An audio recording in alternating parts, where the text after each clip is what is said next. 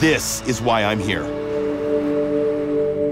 The Marine Corps Mitchell PBJ bomber, better known by its Army Air Corps designation as the B-25. An incredible aircraft that plays a key role in the Pacific during World War II.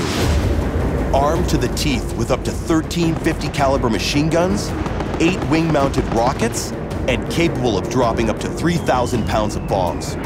This aircraft became the stuff of nightmares for Japanese soldiers and sailors.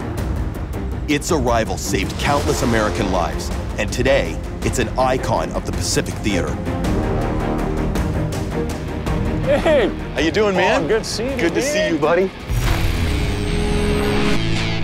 Dan Newcomb is a training officer at the CAF Southern California Wing. He has years of experience assembling aircraft and is one of the key members of the Mitchell's restoration. Okay, where to begin? Semper Fi. Tell me the history of this thing. This airplane was the only example left in the world of a Marine Corps Mitchell bomber. This is the last known representation. And Semper Fidelis, Now, Semper Fidelis is always Latin. faithful. Always faithful.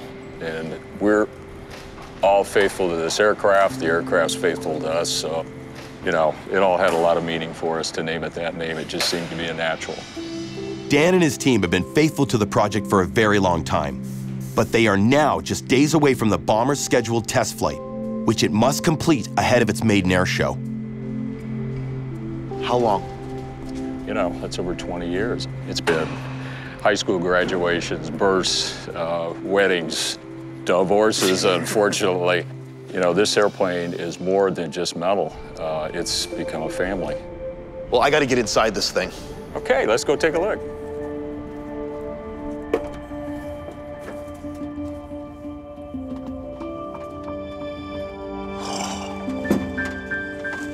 I have seen a lot of restorations, but this one, man, this is over the top. Everything is complete. You guys are done.